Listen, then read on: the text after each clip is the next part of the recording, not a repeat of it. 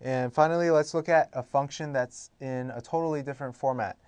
Uh, 1 over x plus 2 squared, so the entire denominator is squared.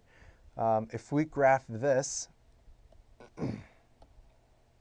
we see that there is an asymptote at negative 2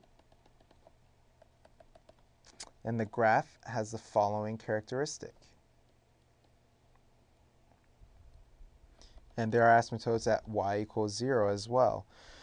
So the limit as x approaches negative 2, so here is negative 2.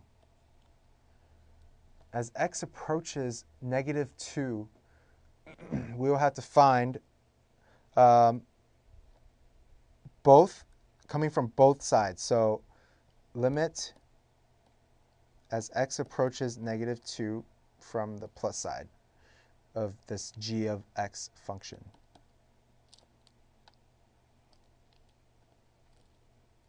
Equal, so we look at as x approaches negative 2 from the plus side, we are going higher and higher towards infinity.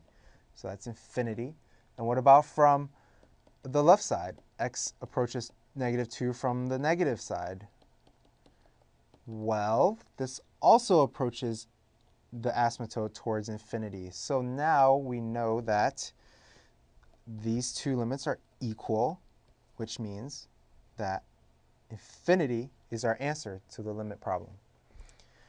And thanks for watching educator.com. Uh, we just went over limits. See you on the next lesson.